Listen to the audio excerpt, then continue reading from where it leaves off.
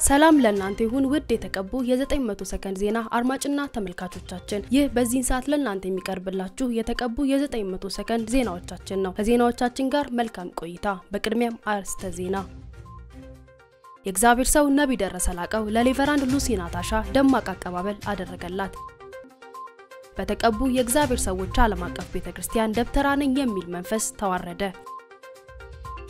በደብረ ዘይት ወንደርስ አጥቢያ አስደናቂ ምስክርነት ተሰማ። የእንግሊዝ ለንደን ከተማ በጎዳና ላይ የወንጌል ሰባኪ አዛውንት ክሳቸው ተቋረጠ። ከዝርዝር ዜናዎቻችን ጋር አብራችን ቆዩ። በቅድሚያም ከሀገር ውስጥ ወዳገኘናቸው ዜናዎች እናልፋለን።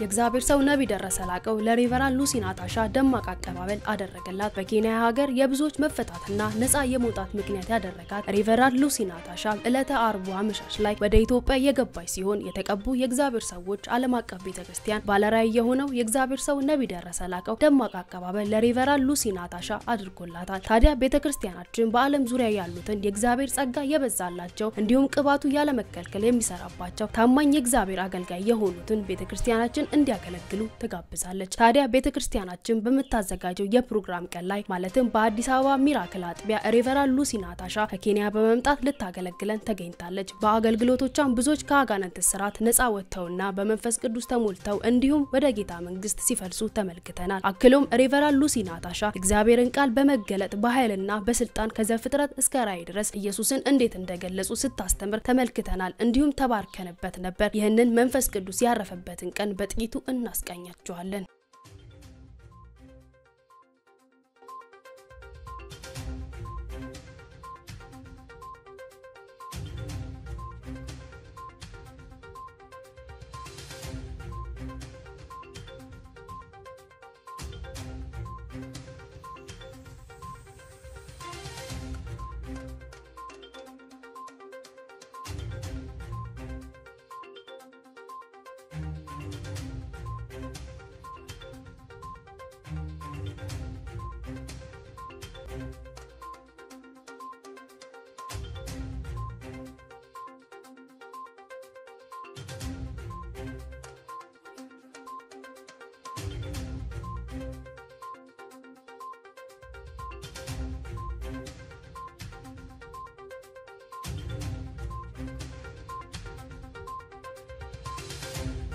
እግዚአብሔር እኛ ዝቅ ዝቅ እንላለን። አንተ ከፍ ከፍ በል።.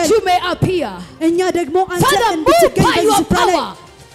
Wherever the 50 people are, እነዚህ ሰዎች ያሉበትን ቦታ እባክህ Holy Spirit of God, የእግዚአብሔር መንፈስ touch them and touch them. እነዚህን ሰዎች ንካቸው። 50 people.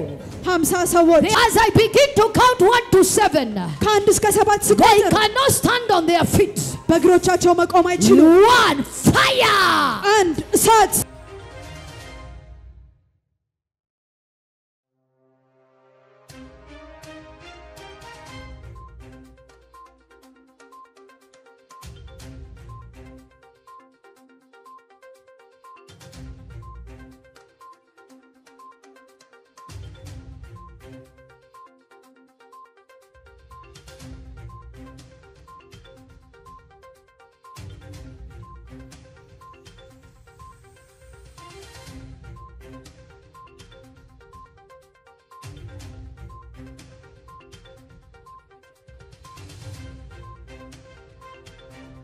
You know, when they cast Shadrach, Meshach, and Abednego into the fire, በእሳት ውስጥ ሲድራግ ሚሳቅና አብድናጎምን ሲመለከቷቸው everybody thought they were going to be alone in the fire. ማንም የሚኖር አልመሰላቸውም ነበረ። You know, when you are going through the fires of life, በህይወት እሳት ውስጥ ስትፈተኑ people will think you are in crisis.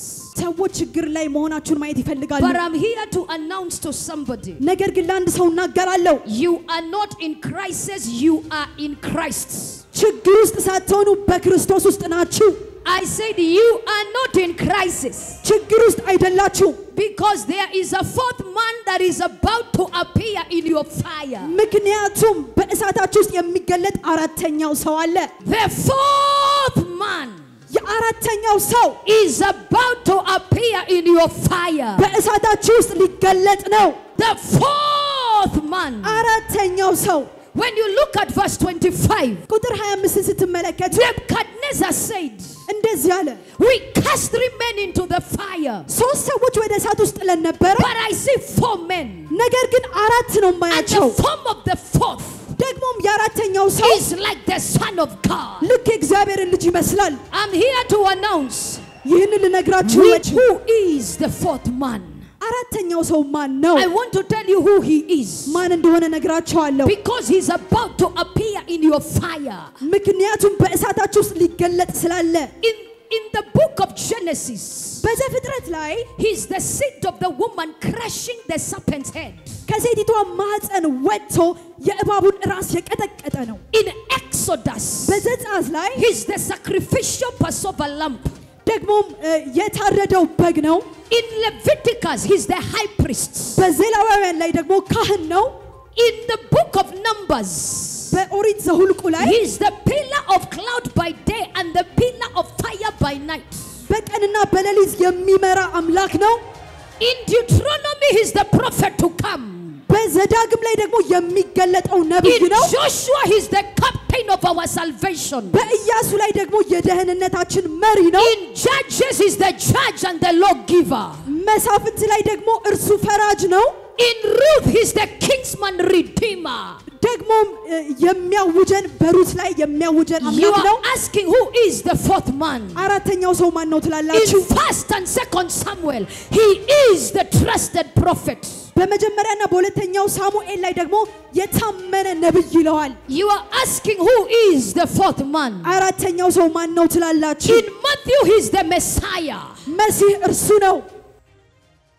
በተቀቡ የእግዚአብሔር ሰዎች ዓለም አቀፍ ቤተ ክርስቲያን ደብተራ ነኝ የሚል መንፈስ ተዋረደ። እግዚአብሔር አምላክ ለልጆቹ ጤና፣ ሰላም፣ ደስታ የሚሰጥ አምላክ ነው። እንዲሁም በበረከት የሚያኖር የእጃቸውንም ስራ የሚባርክ አምላክ ነው። ነገር ግን የጌታን ልጆች መባረክ የማይወደው ዳቢሎስ ጤናቸውን፣ ሰላማቸውን፣ በረከታቸውን ይወስዳል፣ የእጃቸውንም ስራ ይነጥቃል፣ ለራሱም ስራ ይጠቀምበታል። ታዲያ በዚህ ህይወት ውስጥ የሚኖሩ ብዙ ክርስቲያኖች አሉ። በተቀቡ የእግዚአብሔር ሰዎች ዓለም አቀፍ ቤተ ክርስቲያን በአዲስ አበባ Miracle አጥቢያ በዚህ ህይወቱ ስትሰቃይ የነበረች አንዲት እናት ትመጣለች። እንደ ማንኛውም አማኝ ቤተ ክርስቲያኒቱ በምታዘጋጀው የፕሮግራም ቀን ላይ ለመካፈል ትመጣለች። ታዲያም የእግዚአብሔር ሰው ነቢይ ደረሰ ላቀው ከአጋንንት ስርዓት ነፃ ለሚወጡ ሰዎች መጸለይ ይጀምራል። አጋንንትም የሰፈረባቸው እየጮሁ መውጣት ይጀምራሉ። ከወጡትም ሰዎች መካከል ይች እናት ትገኝበታለች። እግዚአብሔር ሰው ነቢይ ደረሰ ላቀው ለዚች እናት ይጸልይላታል። እላዋ ላይ የነበረው መንፈስ እንዲህ ሲል መናገር ይጀምራል። ደብተራ ነኝ፣ እንዲሁም በረከታቸውን በመያዝ የለፉበትን እንደሚሰበስብ ጭምር ይናገራል። አክሎም አብዱረሂም እንደሚባል ተናግሯል። ታዲያ አለቅም እያለ ሲፎክር የነበረው ይህ ክፉ መንፈስ ከስሞች ሁሉ የሚበልጠው የኢየሱስ ክርስቶስ ስም ሲጠራበት ለቋት ሄዷል። ይህን ድንቅ የጌታን ተአምር እናስቃኛችኋለን። ምንድን ነው ያንተ ስራ? ደብተራ ነው። ምን አረካት? እሷን ምን ምን አረክባት? ሰራለሁ፣ አ? በላለሁ፣ ነጥቃለሁ፣ okay፣ ኖራለሁ። ምን እያረክ ነው እሷ ላይ ያለው? አሃ፣ በላለሁ፣ ትበላለህ።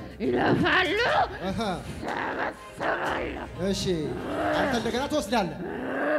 የለፉትን አንተ ትወስዳለህ። እንካፈላለን፣ ትካፈላላችሁ። እንካፈላለን። ከአንተ ጋር ትካፈላላችሁ። ምስርቅ ልኖር፣ አሃ፣ እጅ የለኝም፣ በዚህ ስራ ነው የምተዳደረው። በእሱ ነው የምትተዳድረው። ማን ነው ስምህ አንተ?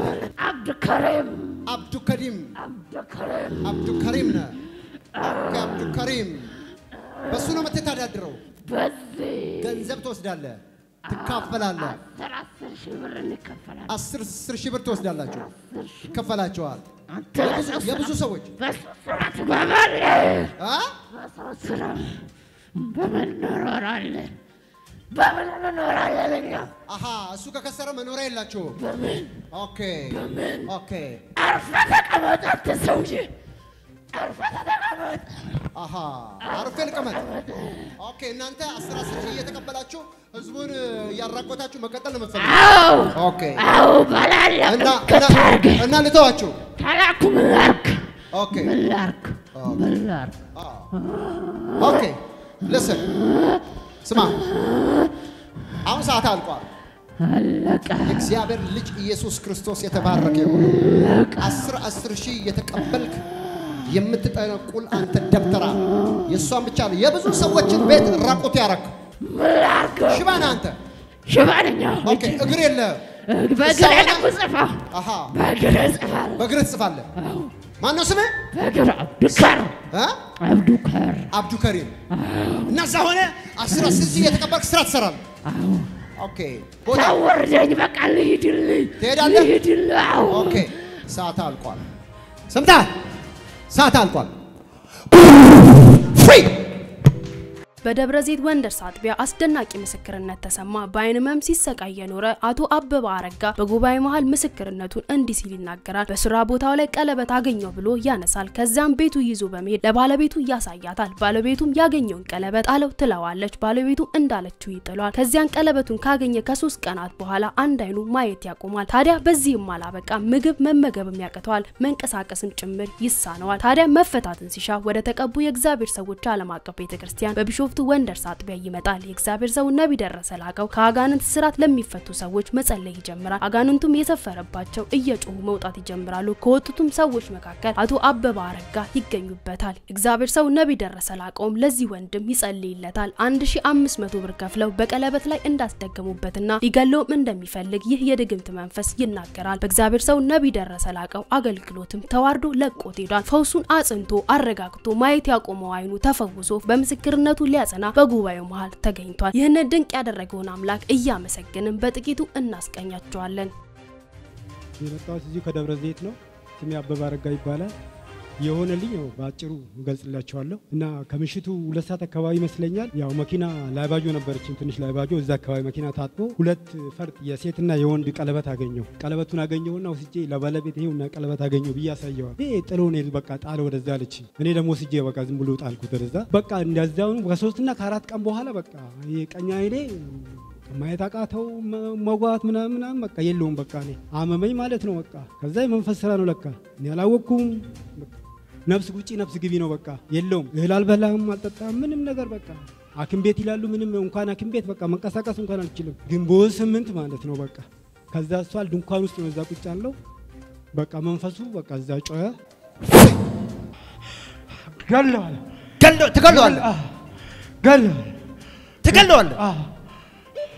መቼ ነው ልትገለው ያሰብከው? ከአንድ ወር በፊት ከአንድ ወር በፊት። እስካሁን ሀሳቡ መግደል ብቻ ነው ያንተ። ገለዋል ገለዋል ለምንድን የምትገለው? በሶስት አስደክም በሶስት በሶስት ሰው ማን ማን ናቸው ደጋሚዎቹ? ሁለት ወንድማማቾች አንድ ሌላስ? አንድ ሚስት አንድ ሚስት። ማን ነው ስማቸው? ዮሐንስ ዮሐንስ ሙሉጌታ ሙሉጌታ የትናየት የትናየት። ዮሐንስ ሙሉጌታ የትናየት። ሁለቱ ወንድማማቾች ናቸው። አስደገሙ እና የትናየት አስደገመች በቀለበት በቀለበት። okay በቀለበት። ስለዚህ ከአንድ ወር በፊት ሞከራችሁ፣ አልተሳካም። አሁንም መግደል ትፈልጋላችሁ። በስንት ብር አስደገሙ? አንድ ሺህ አምስት መቶ? አንድ ሺህ አምስት ብር ከፍለው። okay አሁን የዮሐንስ የሙሉጌታ የየትናየት የሚባል ድግምት የለም። በእግዚአብሔር ልጅ በጌታ በኢየሱስ ፊት አመድ አድርጌዋለሁ። ልቀቅና free እዚህ በወጣልኝ ማለት ነው እና ጌታ ባጭሩ አመስግኑልኝ ይህን ያደረገልኝ ለጌታ ለኢየሱስ ክርስቶስ ክብር ይሁን። ውድ የተቀቡ የ900 ሰከንድ ዜና አድማጭና ተመልካቾቻችን ይህ ድንቅና ታምራትን ያደረገውን እግዚአብሔር አምላክ እንዲሁም ያለመከልከል በመገኘት ልጆቹን ከባርነት ነፃ እያወጣ ያለውን እግዚአብሔር አምላክ ተባረክ እያለን ከውጭ ወዳገኘናቸው ዜናዎች እናልፋለን። ባሳለፍነው ሚያዝያ ወር የጥላቻ ንግግር አድርገሃል በሚል በቁጥጥር ስር ውለው የነበሩት የእንግሊዝ ለንደን ከተማ በጎዳና ላይ ወንጌል ሰባኪ አዛውንት ክሳቸው ተቋርጦ በነፃ መፈታታቸውን Christian Headlines ዘገበ። እኚህ አዛውንት ወንጌልን ሰባኪ በቁጥጥር ስር የዋሉት ስለ መጽሐፍ ቅዱሳዊ ጋብቻ ያስተላለፉት መልእክት እንደ ጥላቻ ንግግር ተቆጥሮ ነው ተብሏል። በለንደን የሚገኘው የሜቶዲስት ቤተክርስቲያን አገልጋይ የሆኑት መጋቢ ጆን ሼርዊድ በለንደን አክስብሪጅ በቁጥጥር ስር የዋሉት የዘፍጥረት መጽሐፍን መነሻ በማድረግ እግዚአብሔር ሰውን በመልኩ ፈጠረ፣ ወንድና ሴት አድርጎ ፈጠራቸው፣ እግዚአብሔርም እንዲበዙ ባረካቸው በማለት ስለ መጽሐፍ ቅዱሳዊ የጋብቻ ትርጉም ስለተናገሩ ነው ተብሏል። ይህ ስብከታቸው በግብረ ሶዶማውያን ላይ ያነጣጠረ የጥላቻ ንግግር የያዘ ነው በማለት የተከራከሩ ታዳሚዎች ተቃውሞ ተከትሎም አዛውንቱ ሰባኪው በፖሊስ ቁጥጥር ስር ከዋሉ በኋላ ጉዳይ ጉዳያቸውን በፍርድ ቤት ሲታይ ቆይቶ በመጨረሻም ፍርድ ቤቱ በነጻ አሰናብቷቸዋል በማለት The Christian Post Headlines ዘገበ። በመላው ዓለም ያላችሁ የ900 ሰከንድ ዜና አድማጭና ተመልካቾቻችን በዚህ ሰዓት ልንነግራችሁ የወደድነው መረጃ በዚህ ቋጭ ነው። ሳምንት በሌላ መረጃ እስከምንገናኝ ድረስ እስከ ሳምንት መልካም ሳምንት። በየጊዜው የምንለቃቸውን ቪዲዮዎችና የተለያዩ መረጃዎችን ለመከታተል Prophet ደረሰ ላቀው ህዝባር Anointing TV የሚለውን የፌስቡክ ገጻችንን like ና follow ያድርጉ። እንዲሁም Prophet ደረሰ ላቀው ህዝባር Anointing TV Worldwide የሚለውን የዩትዩብ ቻናላችንን subscribe ያድርጉ። በየጊዜው የምንለቃቸውን የተለያዩ ቪዲዮዎች በሰዓቱ ቀድሞ እንዲደርሶት ደግሞ የደውል ምልክቱን ይጫኑ።